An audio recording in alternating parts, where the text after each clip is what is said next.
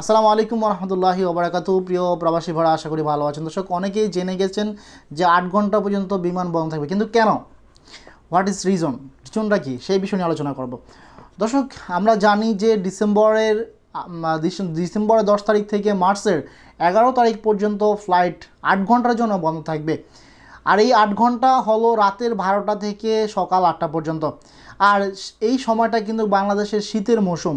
আর এই শীতের সময় প্রচুর পরিমাণ রাতের বেলা কুয়াশা থাকে এবং রানওয়েগুলো কিন্তু কুয়াশার জন্য অনেক সময় বিমান অবতরণ করতে সমস্যা তৈরি হয়।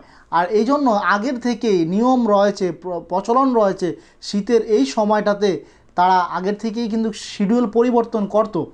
আর এই সময়টাকে কাজে লাগিয়ে আহ, বিমানবন্দর কর্তৃপক্ষ তারা চাচ্ছে যে এখানে যে যে কনস্ট্রাকশনের যে কাজ চলতেছে সেটার কাজটা আরও দ্রুতভাবে এগিয়ে নেওয়ার জন্য।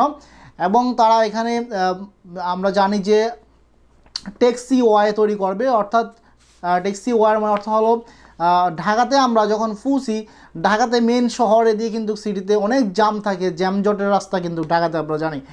এমন সময় এমন অনেক লোক রয়েছে যানজটের কারণে কিন্তু অনেক সময় ফ্লাইট মিস করে ফেলে। ঠিক আছে, হাতে দেখা যায় কিছু সময় নেই বিভিন্ন সমস্যার কারণে মানুষের লেট বা, হতেই পারে। আর এই লেট হওয়ার কারণে মূল কারণ হলো যানজট। আর সেই যানজট নিরসন করার জন্য ট্যাক্সি ওয়াই তৈরি হচ্ছে যাতে প্রবাসীরা খুব দ্রুতভাবে এয়ারপোর্টে পৌঁছতে পারে।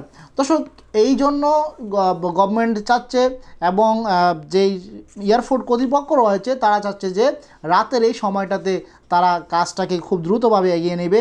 এজন্য ডিসেম্বরের দশ তারিখ থেকে মার্চের এগারো তারিখ পর্যন্ত এই সময়টাতে আট ঘণ্টার জন্য বিমান চলাচল বন্ধ থাকবে এবং কি জরুরি যদি কোনো বিমান অবতরণ করতে হয়, অর্থাৎ অনেক সময় দেখা যায় বাংলাদেশের আকাশে দিয়ে যদি কোনো ফ্লাইট পরিচালিত হয়, অন্য দেশের ফ্লাইট জরুরি অনেক সময় অবতরণ করতে হয় বিভিন্ন বিমানের বিভিন্ন ধরনের সমস্যার কারণে।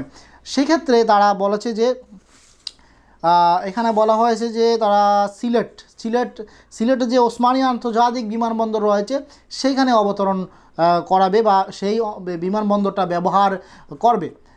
দর্শক এখানে আসলে সংকৃত হওয়ার কিছু নাই।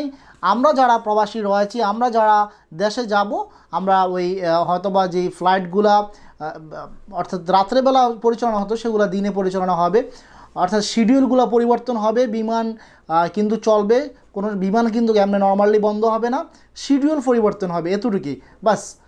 ও দর্শক, আশা করি ভিডিওটা ভালো লাগছে, যদি আমাদের চ্যানেলে আপনি পরিবারের একজন সদস্য হতে চান, তাহলে অবশ্যই চ্যানেলটি সাবস্ক্রাইব করে সাথে থাকবেন, ভালো থাকবেন, সুস্থ থাকবেন। দেখা হবে নতুন ভিডিওতে সে পর্যন্ত আল্লাহ হাফেজ।